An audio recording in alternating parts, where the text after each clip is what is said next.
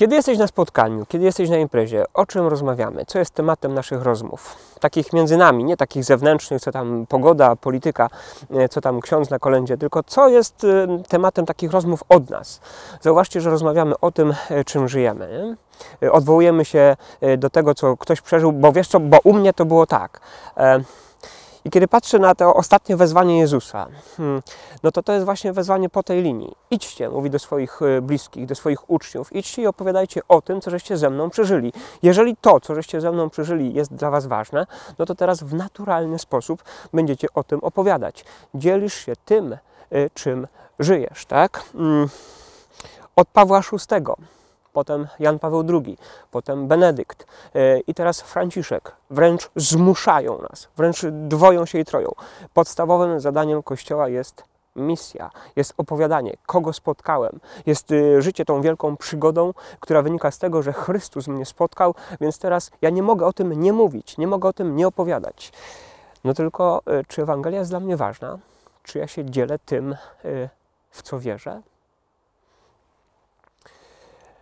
Tydzień temu było u mnie spotkanie mm, w takim cyklu Sobota u proboszcza. Mm, patrzyliśmy na tajemnicę Kościoła i właśnie na ten temat e, o misyjności, że musimy się dzielić e, wiarą.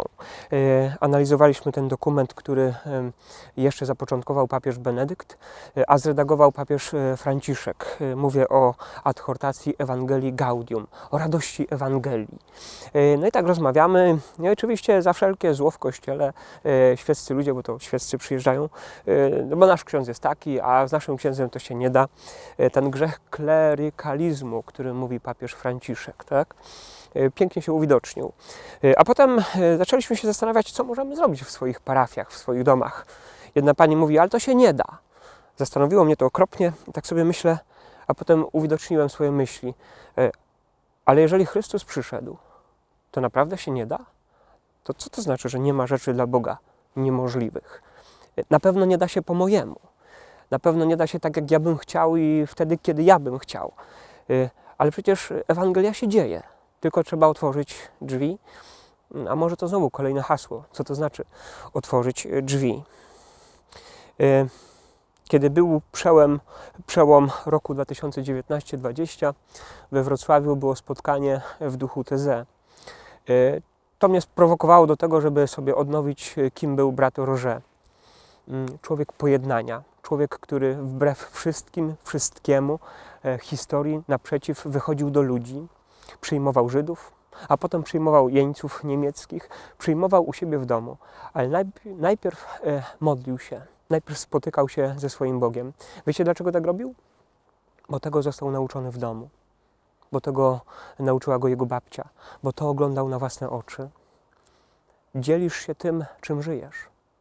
Dzielisz się tym, co jest w tobie. Dzielisz się?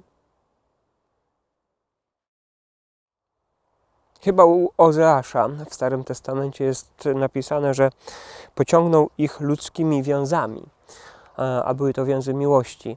Zastanawiałeś się kiedyś nad tym, dlaczego ktoś Cię lubi? Bo kiedy ktoś Cię lubi, łatwiej się dzielić z nim e, tym, co jest dla Ciebie ważne. E, to jest strasznie ważne, żeby lubić ludzi. Mm, wtedy łatwiej do nich dotrzeć, e, wtedy łatwiej ich posłuchać. Myślę, że nie można nic nikomu powiedzieć, jeżeli najpierw się go nie posłucha. E, końcówka stycznia to jest wspomnienie świętego Jana Bosko, człowieka, który przede wszystkim pięknie słuchał. Jest taka słynna historia, jak jeden z gangsterów wreszcie wpadł mu w ręce. Wszyscy na tym chłopaku położyli już krzyżyk, a Janek pyta go, co umiesz? Nic nie umiem piłkę. Umiesz grać? Nie umiem. Masz jakiś zawód? Nie. A co umiesz? Nic nie umiem. A lubisz gwizdać? Cisza? Lubię. No to pogwizdamy razem. A musiało to dziwnie wyglądać, gangster i ksiądz w XIX wieku. Odwołać się do tego, co ktoś lubi, co ktoś przeżywa. Zapraszam Was do Kostowa za tydzień na kolejny wieczór modlitwy. Spotkamy się z Bogiem, spotkamy się z tym, który wychodzi mi naprzeciw pomodlimy się po prostu razem, zadamy sobie parę podstawowych, fundamentalnych, strasznie dzisiaj potrzebnych pytań. A potem co? Będziemy się dzielić, opowiadać, gdzie żeśmy byli, co żeśmy przeżyli i kim, i kim jesteśmy dzięki Bogu. Zapraszam.